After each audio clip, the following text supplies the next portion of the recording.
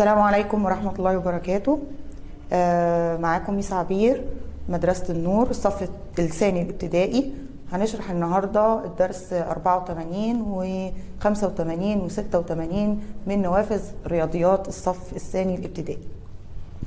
آه كلنا نفتح مع بعض آه صفحة 44 الدرس 84 التطبيق الإرشادات مكتوب عندنا استخدم جدول القيمة المكانية لحل مسائل الجمع وسجل إجاباتك. الدرس 84 تطبيق الإرشادات استخدم جدول القيمة المكانية لحل مسائل الجمع وسجل إجاباتك.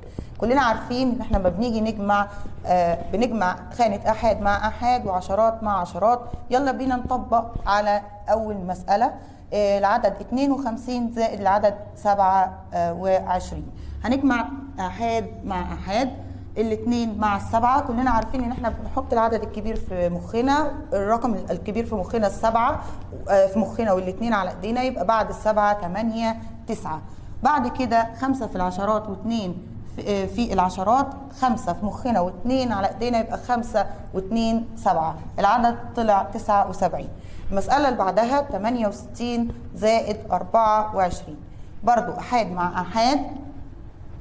8 زائد 4 8 في مخك و4 على إيدك. بعد ما نعد 8 بعد ال 8 9 10 11 12 مش هينفع نحط ال 12 كلهم. ليه؟ لأن في خانة في العشرات فيها رقم. يبقى هنحط الاثنين ومعانا الواحد الواحد هنحطه على الستة في خانة العشرات واحد على الستة يعني واحد زائد ستة. واحد على الستة سبعة سبعة زائد اتنين تسعة. بعد كده المسألة اللي بعدها سبعة وستين زائد خمسة وعشرين. نفس الحكاية أحد مع أحد سبعة زائد خمسة هيطلع لي اتناشر. اتنين ومعايا الواحد. واحد على الستة سبعة سبعة زائد اتنين تسعة. طب في حد يجي يقول لي طب ما أنا ممكن أكتبها كده يا ميس اتنين وواحد وتسعة. لا طبعا هيبقى الناتج غلط. طيب 38 زائد 56 8 زائد 6 لو جينا جمعنا 8 في مخك و6 على إيدك هيطلعوا 14 هل ينفع نحط ال 14 كلهم؟ لا يا ميس مش هينفع لأن في رقم في خانة العشرات. يبقى هنحط 4 ومعايا الواحد. واحد على الثلاثة 4 4 زائد 5 9 طيب بعد كده 64 زائد 28 4 زائد 8 نحط في إيه؟ في مخنا يا ميس نحط الكبير عشان ما نتلخبطش. الثمانية في مخنا والأربعة على إيدينا هيطلعوا 12 2 ومعايا الواحد. الواحد هحطه على الستة هيبقى سبعة. طب هل خلصت المسألة كده؟ لا يا ميس في رقم تاني في خانة العشرات يبقى واحد على الستة سبعة سبعة زائد اتنين تسعة. طيب بعد كده ستة وخمسين زائد تسعة و تسعة وعشرين. ستة في الآحاد زائد تسعة في العشرات تسعة في مخك وستة على إيدك. بعد التسعة 10 11 12 13 14 15 يبقى اذا خمسة ومعايا الواحد. واحد على الخمسة ستة ستة زائد اتنين تمام بعد كده المسألة رقم سبعة. 28 زائد 28 إيه ده الرقم متكرر يا ميس؟ تمام متكرر مش هنتلخبط. 8 زائد 8 8 في مخك و8 على إيدك هيطلعوا 16 هنينفع نحط ال 16 كلهم؟ لا مش هينفع. يبقى هنحط 6 ومعايا الواحد. واحد هحطه برحله على خانة العشرات في جنب اللي جنبها. واحد على الاثنين 3 3 و2 5 طلع العدد 56 المسألة رقم 8 76 زائد خم... زائد 15 6 زائد 5 هيطلعوا 11 واحد ومعايا الواحد. واحد على السبعة 8 8 زائد واحد 9 طلع العدد 91 بعد كده المسألة رقم 9 المسألة رقم 9 بيقول لي 29 زائد 57 لو جينا حطينا 9 في مخنا والسبعة على إيدينا يطلعوا 16 6 ومعايا الواحد. واحد على الاثنين تلاتة وتلاتة زائد خمسة تمانية. طلع العدد ستة وتمانية المسألة رقم عشرة أربعة وأربعين زائد تسعة وتلاتين. هحط العدد الرقم الكبير في مخي اللي هو تسعة في مخي وأربعة على إيدي هيطلعوا 13 هينفع نحط ال 13 كلهم؟ لا يا ميس مش هينفع. يبقى تلاتة ومعايا الواحد. واحد على الأربعة خمسة خمسة وتلاتة تمانية. بعد كده بنشوف في صفحة 45 جدول فاضي مكتوب فيه أحاد ومكتوب فيه عشرات.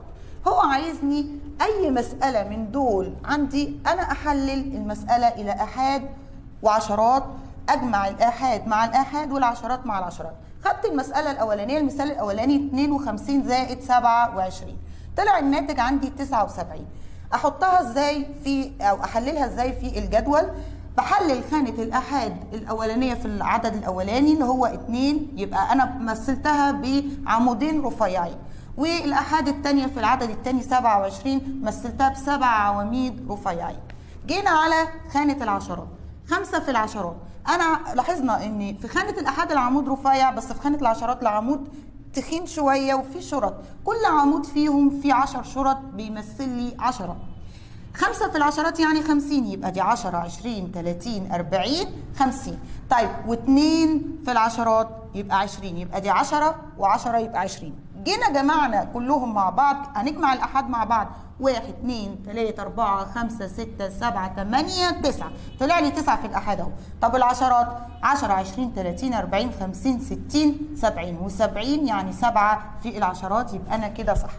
بعد كده لو قلبنا على صفحة 46 بيقول لي الدرس 84 كراس الرياضيات الإرشادات تأمل ما تعلمته لماذا ينبغي أحيانا استخدام إعادة التجميع لحل المسائل؟ يعني إحنا بنعمل استراتيجية إعادة التجميع دي بنعملها ليه تاني عشان نحل المسائل؟ بيقول لي عبر عن أفكارك بالكتابة أو الرسم. لا إما نرسم جدول زي اللي إحنا عملناه لا إما نرسم مسألة ونجمع احاد مع احاد وعشرات مع عشرات لا إما نعبر إحنا فهمنا إزاي.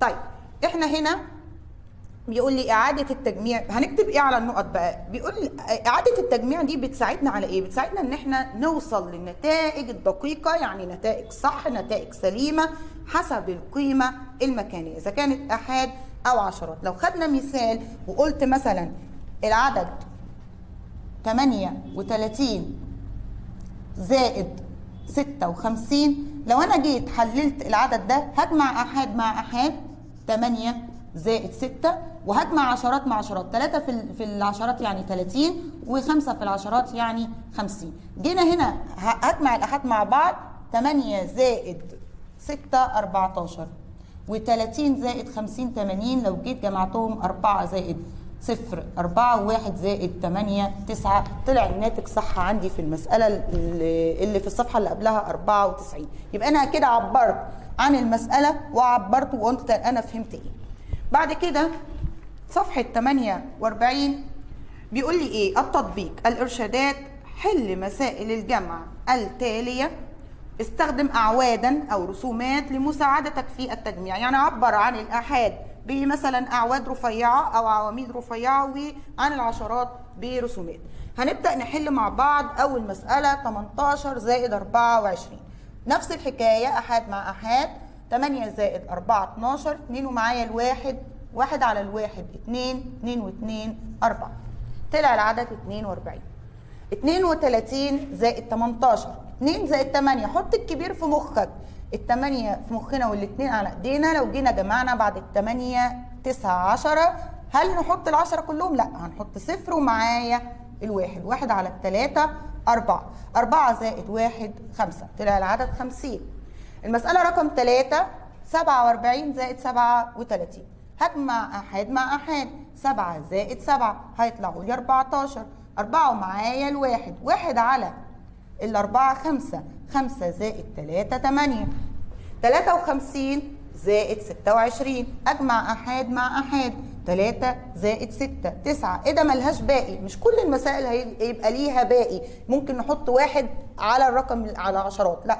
ممكن يبقى جمع عادي جمع سهل, مش جمع بإعادة التسمية أو جمع بالحمل.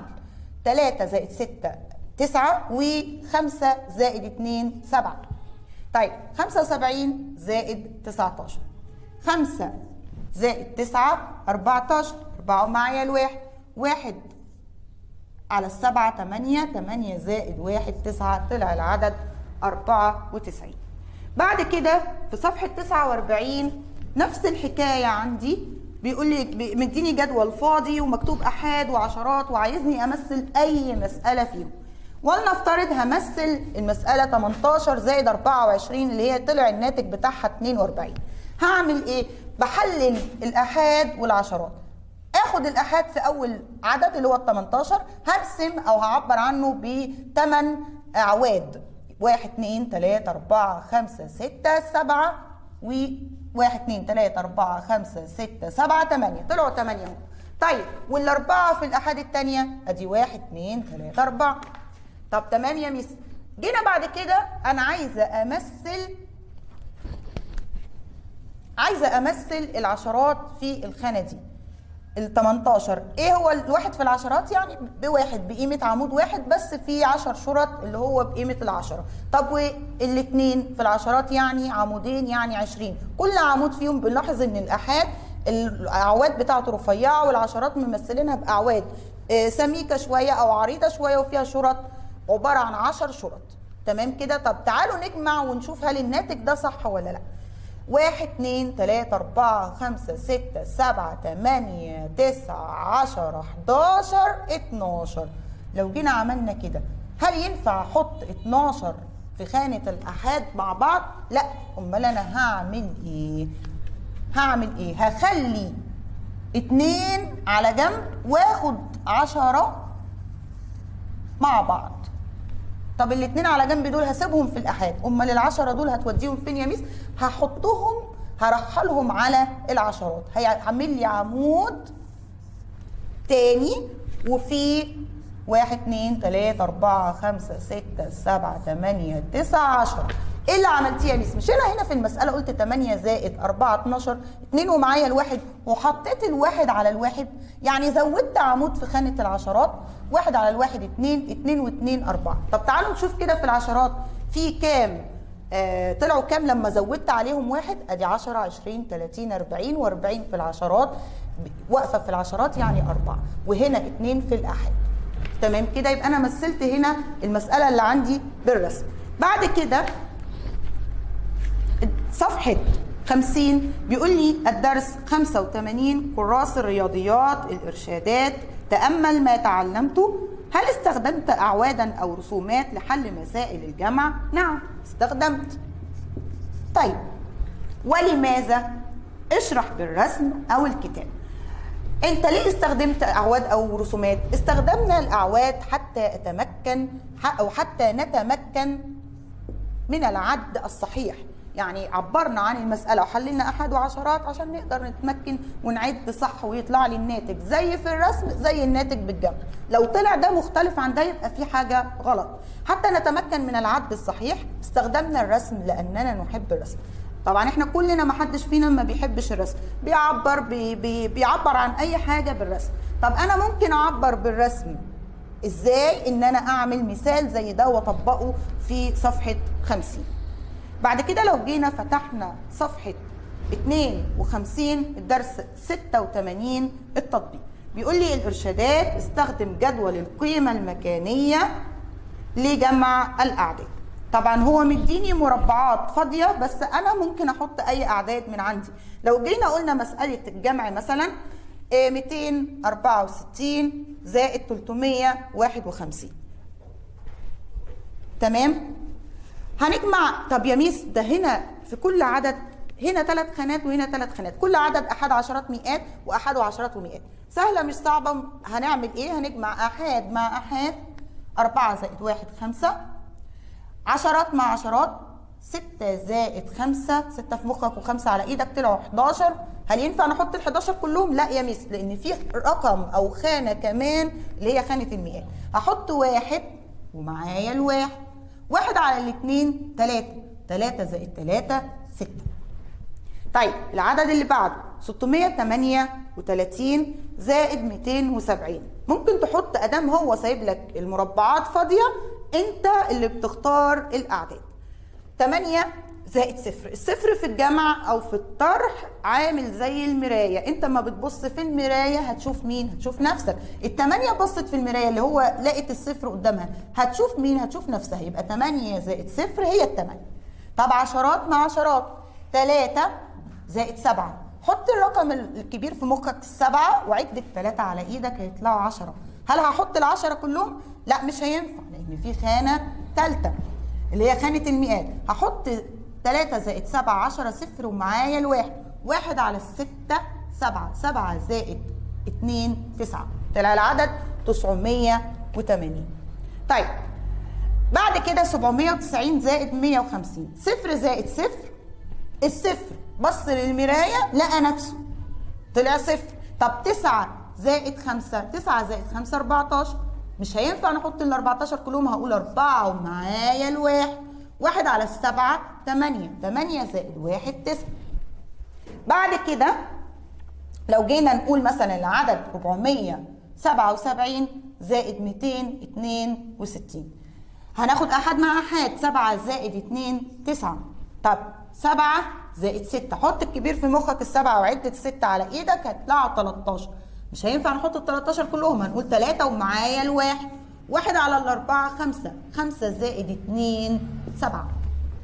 طيب آخر مسألة اللي هي رقم خمسة هنفترض نحط مثلا العدد 583 زائد العدد 365 اجمع أحد مع أحد 3 زائد 5 8 طب 8 زائد 6 حط الثمانية في مخك والستة على إيدك هيطلع 14 أربعة ومعايا الواحد.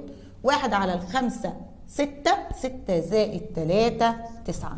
معنى كده إن إحنا كونا أعداد من مخنا وجبنا الناتج وعرفنا استفدنا من التطبيق ده إن إحنا بنجمع خانة الاحاد مع خانة الاحاد وخانة العشرات مع العشرات وخانة المئات مع المئات. طب يا ميس لو في رقم كبير ما أقدرش أحطه كله برحله برحله على الخانة اللي جنبه. مش اللي قبليه لأن أنا استخدمتها برحله على الخانة اللي بعده اللي أكبر منه طيب بعد كده صفحة 53 برضو مديني جدول بس زود فيه خانة اللي هي خانة المئات المرتين اللي فاتوا كان في أحد وعشرات أحد وعشرات المرة دي خانة مئات طب هو عايز مني إيه؟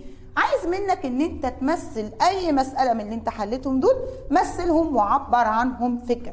لو خدنا المسألة 638 زائد 270 طبعا الناتج هنا طلع لي 908 هعملها إزاي؟ فك الم...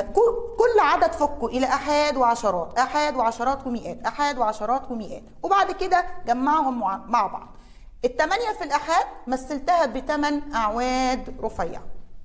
طيب هنا صفر في العشرات. خلاص الصفر الصفر في الأحاد هنا فاضي مفيش حاجة يبقى مش هينفع أحط حاجة تحت الثمانية طب تعالوا نخانة الإيه العشرات. ثلاثة في العشرات مثلتها بثلاث أعواد رفيع. طب سبعة في العشرات مثلها بسبع أعواد رفيع. طيب ستة في المئات مثلتها بست أعواد. إيه ده؟ بس في واحد مختلف. هنعرف إزاي المختلف ده؟ جه إزاي؟ الاتنين في العشرات يعني اتنين. تعالوا نجمع كده ونشوف هل الناتج اللي هيطلع لي أو تمثيل المسألة هيطلع هو هو نفس العدد ده ولا لأ؟ تمانية في الأحاد. أدي واحد اتنين تلاتة أربعة خمسة ستة سبعة تمانية. أهو. طيب تعالوا نشوف العشرات ونعدها مع بعض كده. واحد اتنين تلاتة أربعة خمسة ستة سبعة تمانية تسعة عشرة. إيه ده؟ هو أنا هعمل عشر أعواد؟ لا. أمال العشرة دي أعمل فيها إيه؟ زي ما أنت بتقول هنا تلاتة زائد سبعة عشرة صفر ومعايا الواحد. سيبها فاضية. سيب هنا صفر كده. طب أمال الواحد بتاع العشرة ده حطه هنا زوده هنا على المئات رحله على الخانة اللي بعدها. طب تعالوا نجمع بقى. المئات اللي قديمة مع الواحد اللي زاد عليها ده. واحد اتنين تلاتة أربعة خمسة ستة سبعة تمانية تسعة. هل الناتج اللي عندك طلع لك 908 ولا لا؟ زي اللي فوق. طلع 908 يبقى انت كده صح. وهنا برضو التسعة دي هنمثلها بالأعواد. أدي واحد اتنين تلاتة أربعة خمسة ستة سبعة تمانية تسعة. أهو يبقى طلع الناتج 908 وأرجو إن أنتوا تكونوا استفدتوا من مسائل الجمع اللي إحنا بنستخدمها في استخدام في حياتنا العملية والشخصية في كل حاجة بنستخدم الجمع شكرا. اللي فاتوا كان في احاد وعشرات احاد وعشرات المره دي خانه مئات طب هو عايز مني إيه؟ عايز منك إن أنت تمثل أي مسألة من اللي أنت حلتهم دول مثلهم وعبر عنهم فكر لو خدنا المسألة 638 زائد 270 طبعا الناتج هنا طلع لي 908 هعملها إزاي؟ فك الم... كل عدد فكه إلى احاد وعشرات احاد وعشرات ومئات احاد وعشرات ومئات وبعد كده جمعهم مع بعض. الثمانية في الأحاد مثلتها بثمان أعواد رفيع. طيب هنا صفر في العشرات. خلاص الصفر الصفر في الاحاد هنا فاضي مفيش حاجة يبقى مش هينفع أحط حاجة تحت الثمانيه طب تعالوا نخانه الايه العشرات. ثلاثة في العشرات مثلتها بثلاث أعواد رفيعه طب سبعة في العشرات مثلها بسبع أعواد رفيعه طيب ستة في المئات مثلتها بست أعواد. إيه ده؟ بس في واحد مختلف. هنعرف إزاي المختلف ده؟ جه إزاي؟ الاتنين في العشرات يعني اتنين. تعالوا نجمع كده ونشوف هل الناتج اللي هيطلع لي أو تمثيل المسألة هيطلع هو هو نفس العدد ده ولا لأ؟ تمانية في الآحاد. أدي واحد اتنين تلاتة أربعة خمسة ستة سبعة تمانية. أهو. طيب تعالوا نشوف العشرات ونعدها مع بعض كده. واحد اتنين تلاتة أربعة خمسة ستة سبعة تمانية تسعة عشرة. إيه ده؟ هو أنا هعمل عشر أعواد؟ لا أمال العشرة دي؟ أعمل فيها إيه؟ زي ما أنت بتقول هنا تلاتة زائد سبعة عشرة صفر ومعايا الواحد. سيبها فاضية. سيب هنا صفر كده. طب أمال الواحد بتاع العشرة ده؟ حطه هنا زوده هنا على المئات. رحله على الخانة اللي بعدها. طب تعالوا نجمع بقى المئات اللي قديمة مع الواحد اللي زاد عليها ده. واحد اتنين تلاتة أربعة خمسة ستة سبعة تمانية تسعة. هل الناتج اللي عندك طلع لك 908 ولا لا؟ زي اللي فوق. طلع 908 يبقى انت كده صح. وهنا برضو التسعة دي هنمثلها بالأعواد. أدي واحد اتنين تلاتة أربعة خمسة ستة سبعة تمانية تسعة. أهو يبقى طلع الناتج 908 وأرجو إن أنتوا تكونوا استفدتوا من مسائل الجمع اللي إحنا بنستخدمها في استخدام في حياتنا العملية والشخصية في كل حاجة بنستخدم الجمع شكرا